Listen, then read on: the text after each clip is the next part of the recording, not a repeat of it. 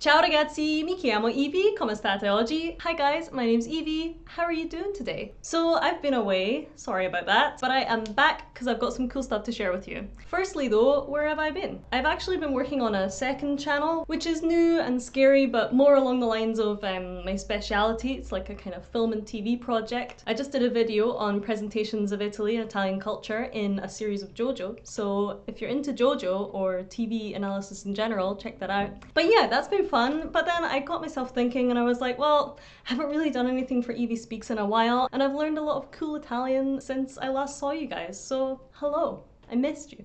How are you? Let me know in the comments if any of you are still here.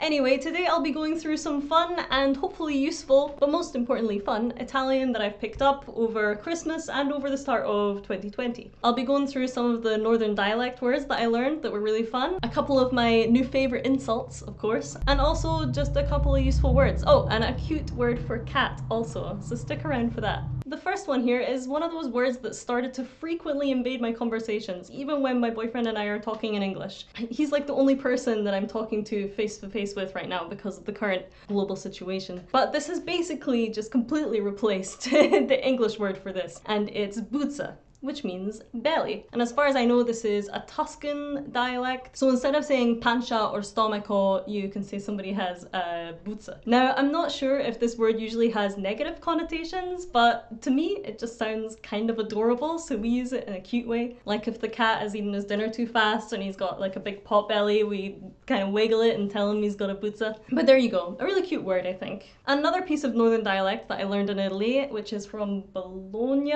or thereabouts, this time is rusco. And rusco just means trash or rubbish, as we say in the UK. Not the most exciting addition to this list, but it's a real useful one. And it's actually meant that the word spazzatura has been eliminated from my vocabulary because rusco is just so much easier to say. There's like a million words for trash in Italian. I know there's also uh, pattume, I've heard, but rusco I think is my favorite so far.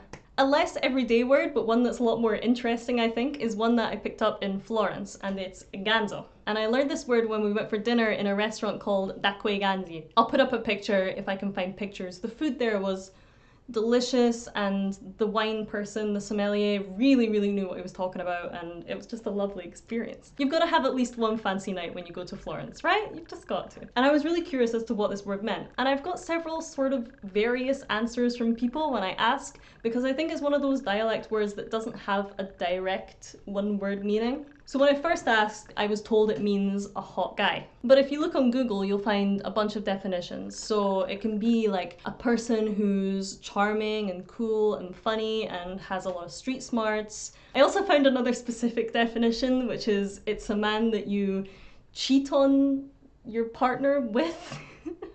So somebody that like is good for a bit of fun, but not somebody you bring home to your parents necessarily. If you can give me a more direct definition in the comments, I would love to hear it because it's a great word. I just like the way that it sounds. Going back to words that I learned in Ferrara from Leo's mum, I learned quite a fun alternative for schifo, which is ingossa. So if you want a variation of how to say che schifo, as in like, oh, like, like, oh, how gross, you can say che ingossa. We were having a conversation about vomit I'm not sure why, but there you go, useful word.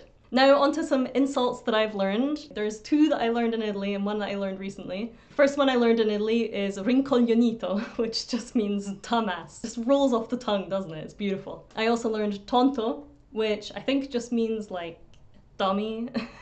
so rincoglionito, tonto. I also learned this one recently, mascalzone, and mascalzone is a little bit more old-fashioned, and it basically means that somebody's like a good-for-nothing, a scoundrel, that kind of thing. Anyway, I think it's fun to say. Staying on the kind of rude stuff theme, I also learned another way to say, oh, shit, because I always just said oh, merda when I dropped something, like oh, merda.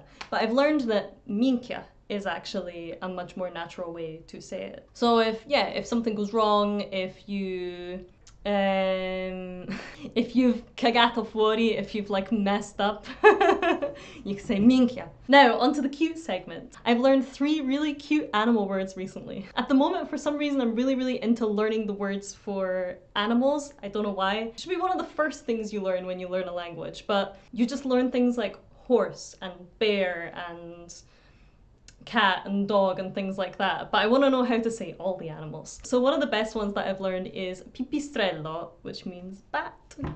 I don't know why it came up. Maybe because uh, the little things have been in the news a lot lately, but I really wanted to know, and I had no idea the word would be so cute. Pipistrello makes me like bats more. You know what I mean? The next word that I learned is I say that I learned it. I need to actually look this one up. Yes, polipetto, which means octopus, or polipo.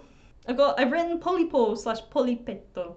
I assume that polipetto is a small octopus. And the third word is actually one I learned the other day, and it means cat. And the word is micio. In my head, when I say it, I think of like a little cat but I don't know if it's specifically for little cats. It's specifically for domestic cats anyway. Micio, I don't know, it's just so cute. So sometimes I call Dexter my little Micio. Or just anything other than his real name, actually. I tried to look up just now if Micio is from a specific dialect and I'm really not sure. I did find an article that says that I might actually derive from the Latin word for mouse, so there you go. But yeah, Micio. I'd never heard it. And then Leo just kind of like casually said it one day and I was like, why have you been keeping this from me? This is so cute. Um, I think that's all I had to say. I don't want to make this video too long. I just wanted to pop up and say hi and tell you some of the things I'd learned. If you've watched this video, make sure and let me know. If you don't feel like writing a comment, that's cool. Leave me a like either way. And if you haven't subscribed, make sure you do. Anyway, I'm gonna go get myself a cup of tea. I'm gonna play Doom Eternal and I'm gonna have a nice day and I hope that you do too. Don't stress too much. Be kind to yourselves and baci baci. Bye bye.